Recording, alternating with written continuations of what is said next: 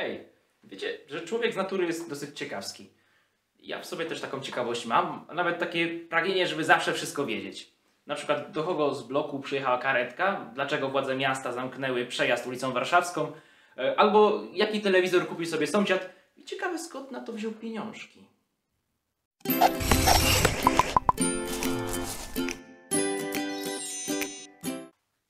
I pewnie dlatego bardzo nie lubię, kiedy ktoś ma przede mną jakieś sekrety. No chociaż ja uwielbiam je oczywiście mieć przed innymi. Jest tyle żenujących sytuacji, tyle głupich decyzji, tyle jakichś absurdalnych e, rzeczy, które zrobiłem, a których wstydzę się przed innymi i przed samym sobą i wolałbym o nich zapomnieć. A najgorzej jak przypominają się wtedy, kiedy trzeba zasnąć. Co robisz? Ciii, próbuję spać. A pamiętasz jak w piątej klasie powiedziałeś do nauczycielki matematyki mamo? Właśnie, i to często tych rzeczy najbardziej wstydzę się przed drugim człowiekiem.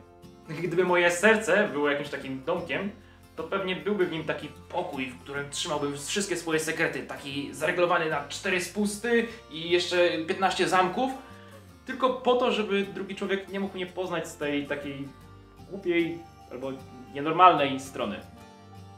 Podobnie może być w mojej relacji z Chrystusem. Może nigdy się nad tym nie zastanawiałeś, ale pewnie tak jak ja, masz w swoim portfolio takie sytuacje, których wstydzisz się nawet przed Panem Bogiem. Chociażby jakiś ciężki grzech. No i czasem kusi, żeby wobec Boga zastosować ten sam manewr, co wobec drugiego człowieka, czyli pozamykać wszystkie zamki, schować te sekrety w ciemnościach, niech tam już nikt nie zagląda. I dopiero wtedy robię sobie jeszcze gorsze pomieszczenie na takie najbardziej wstydliwe rzeczy, na najciemniejsze, najmroczniejsze sytuacje i upycham je tam. Robi się z tego taki składzik na stare graty grzechów. No i stoję przy tych drzwiach. Rygluję je, zapieram się rękami i nogami, żeby tylko nie wpuścić Boga w te rejony mojego życia.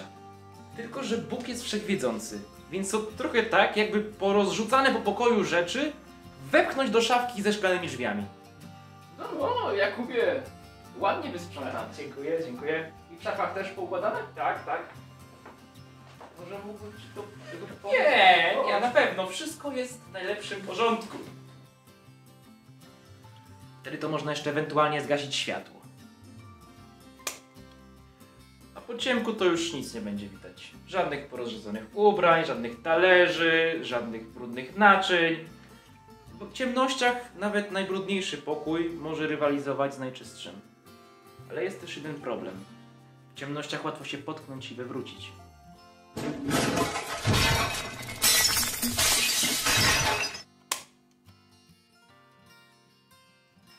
Może właśnie dzisiaj Bóg zaprasza i Ciebie i mnie do tego, aby otworzyć Mu ten najmroczniejszy kąt serca i wspólnie posprzątać bałagan, który się tam wytworzył.